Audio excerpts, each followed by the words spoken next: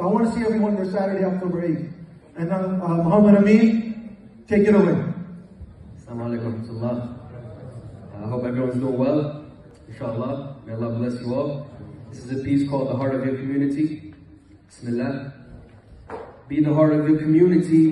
Be like Muhammad alayhi salatu wasalam. Beautifully a lot of opportunity to bring about the positive thoughts of Islamic unity.